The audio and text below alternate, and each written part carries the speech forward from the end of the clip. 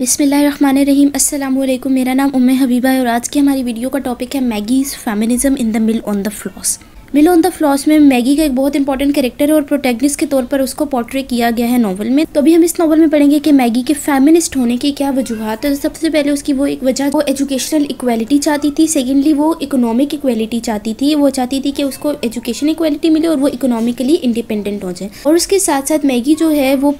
In throughout the novel किस तरह Victorian era को रिप्रेजेंट कर रही है, उसकी विमेन को रिप्रेजेंट कर रही है, हम ये भी इस नावल में पढ़ेंगे। विदाउट एनी फर्दर डिले हम वीडियो स्टार्ट करते हैं। तो वीडियो स्टार्ट करने से पहले अगर आप चैनल पर नए हैं तो चैनल को सब्सक्राइब कीजिए वीडियो लाइक कीजिए और इस वीडियो के डिस्क्रिप्शन बॉक्स में इसके नोट्स पीडीएफ के फॉर्म में मौजूद हैं, आप वहाँ से इजीली उनको जाके डाउनलोड भी कर सकते हैं। तो लेट्स स्टार्ट द वीडियो तो first of all we are going to discuss like causes of Maggie's feminist thought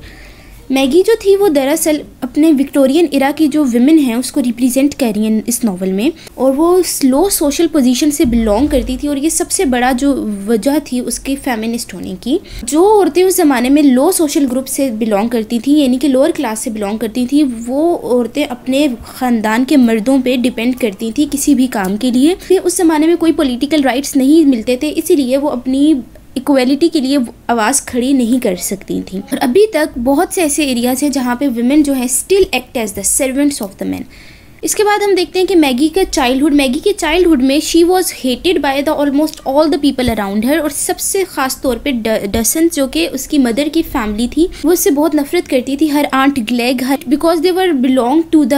upper class and the Maggie she was belong to the lower class इसलिए Maggie को वो पसंद नहीं करते थे और उसकी जो माँ थी खुद, वो मैगी को मिस्टेक ऑफ़ नेचर कहती थी और वो इसलिए कहती क्योंकि मैगी के लंबे खूबसूरत बाल नहीं थे, उसका ग्रेसफुल बिहेवियर नहीं था, जो जमाने की लड़कियों के लिए बहुत खसूसी समझा जाता था। अब मैगी जो थी, वो नॉलेज भी हासिल करना चाहती थी, वो उसको म्यूज़ियम में भी इंटरेस्ट और इन्हीं चीज़ों की वजह से उसकी एजुकेशन और उसकी इंटेलिजेंस की वजह से हम देखेंगे कि वो किस तरह एक फेमिनिस्ट के तौर पर पोर्ट्रे हो रही है।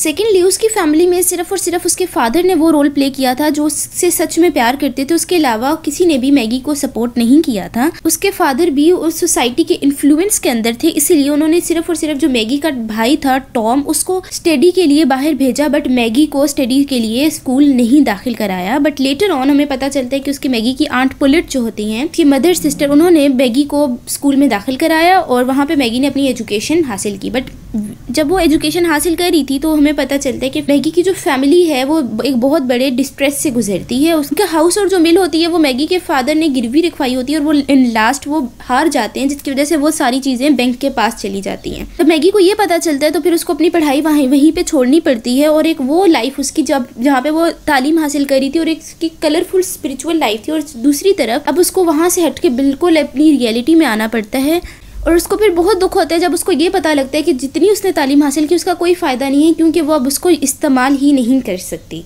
जॉर्ज एलियट का ये कैरेक्टर मैगी का वो एक सिंपल एग्ज़ाम्पल है जो उस जमाने की औरतों को शो करें कि जैसी बहुत सी औरतें थी जो अपना मुस्तबिल खुद चूज़ करना चाहती बट उनसे उनका ये डिसीज़न उनके मेल फैमिली मेंबर्स ने छीन लिया था। अब विक्टोरियन एरा की जो वुमेन थी, उनका सिर्फ़ एक काम था कि वो अपने हस्बैंड की ओबीडियंट हों वो सिर्फ़ हाउस वाइफ रह सकती हैं और वो अपने शोहर और बच्चों का ख्याल रखें। इसीलिए वो औरतें जो कि हाईली एम्बिशियस थी, उनको अपने प्रोफेशन अपनी थॉट्स को गिव अप करना पड़ता और उनको एज अ वाइफ प्रॉपरली उस सोसाइटी में रहने के लिए एक्ट करना पड़ता था। अब मैगी भी एक ऐसा ही कैरेक्टर है जो कि अपनी इक्वालिटी चाहती है, वो चाहती है कि वो उतनी ही एजुकेशन हासिल करे जितनी उसकी फैमिली के बाकी एक मेल मेंबर हासिल कर रहा है और उसकी इस थॉट को हमने एक फैमिलिस्ट थॉट का नाम दिया है। Moving further to the second heading जो कि है Maggie's pursuit of education equality Maggie एक रिबिलियस वुमेन थी, वो उसकी डोमिनेंट आइडियोलॉजी थी, वो चाहती थी कि उसको पीस पावर और एक्सेप्टेंस मिले, मगर सब फजूल जाते हैं सेकेंडली अगर हम मैगी की लाइफ को विक्टोरियन इरा के साथ कंपेयर करें तो हमें पता चलेगा कि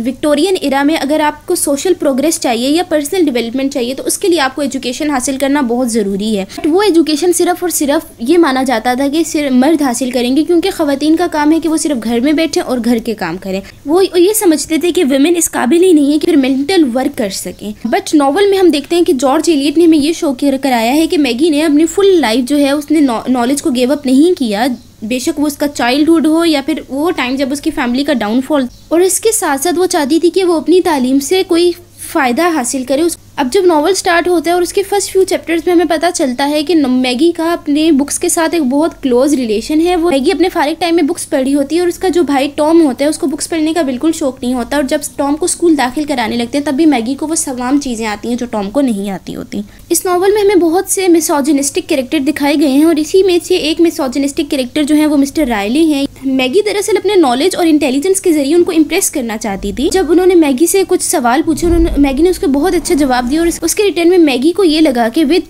triumphant excitement she thought Mister Riley would have respect for her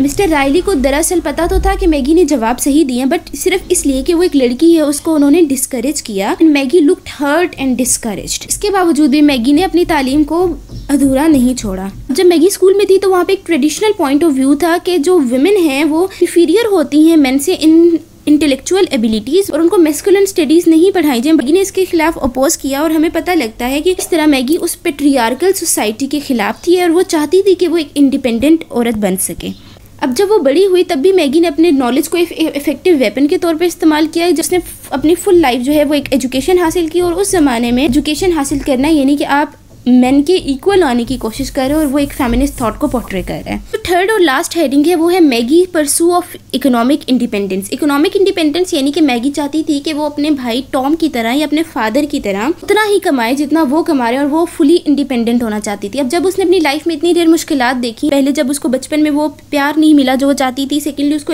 उसकी एजुकेशन पे पाबंदी लगाएगी। ली फिलिप और स्टीफन जो थे, वो उसके रास्ते में डिस्ट्रैक्शन थे, इसलिए मैगी चाहती थी कि वो अपने खुद इंडिपेंडेंट हो और अपनी लाइफ खुद कैरी कर सके। मैगी ने अपनी फैमिली के डाउनफॉल में अपने भाई टॉम को सपोर्ट किया ताकि वो लोग इकोनॉमिकली इंडिपेंडेंट हो सकें। अपने फादर की डेथ के बाद मैगी ने दरअसल वोकेशन ऑफ़ द गवर्नेंस की जॉब हासिल की क्योंकि वो एक ऐसी जॉब थी जो सिर्फ़ वुमेन को अलाउड थी करने के लिए और जब लास्ट में उसको कोई रास्ता भी नहीं देखा तो उसने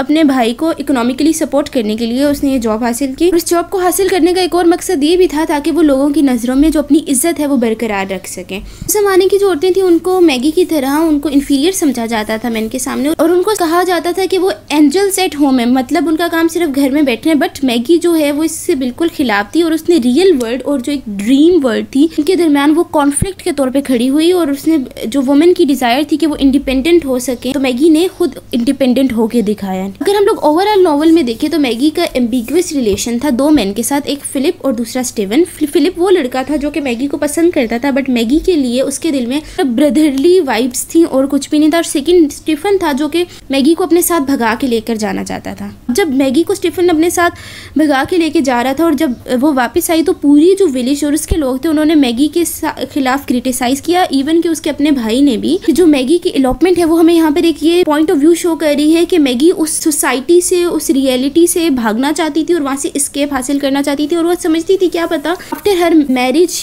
maybe she'll become independent तमाम प्रोसेस में मैगी ने बहुत सी मुश्किल का सामना हासिल किया और ये हमें ये शो कर रहा है कि विक्टोरियन इरा की जो विमेन हैं, वो अपनी फैमिलीज़ में पीसफुल लाइफ जीने के लिए भी उनको किस किस्म की मुश्किल का सामना करना पड़ता था। थ्रू आउट द नावल हमें ये पता चल रहा है कि मैगी बींग फेमिनिस्ट उसने अपने जो तमाम अपोजिट जेंडर हो, उसको चैलेंज किया है और वुमेन की लाइफ को क्रिटिसाइज किया है। फुल नावल में जो हम मैगी की स्टोरी पढ़ रहे हैं, ये जॉर्ज इलियट ने अपनी ही स्टोरी और अपना रिलेशन अपने भाई के साथ उसको शो करने के लिए उन्होंने ये नावल लिखा था। नॉवल के ज़रिए हम समझ सकते हैं कि जॉर्ज इलियट की अपनी ज़िंदगी किस तरह से गुजरी थी। तो that's it it's the end of the video I hope आपको यहाँ तक सारा लेक्चर समझ आ गया होगा। टॉपिक पर चैनल पर एक पूरी वीडियो मौजूद है। वहाँ से आप इसकी समरी थीम एनालिसिस इजीली कर सकते हैं। फ़िलहाल के लिए यहाँ तक हमने पढ़ा है मैगी की फेमिनिस्ट थॉट्स आई होप आपको ये सब समझ आ गया होगा। प्लीज़ चैनल को सब्सक्राइब कीजिए और फिर से बताती चलूँ कि हर वीडियो के डिस्क्रिप्शन बॉक्स में उसके पीडीएफ के फॉर्म में नोट्स मौजूद है। आप उनको वहाँ से ईजिली डाउनलोड कर सकते हैं। अल्लाह हाफिज़।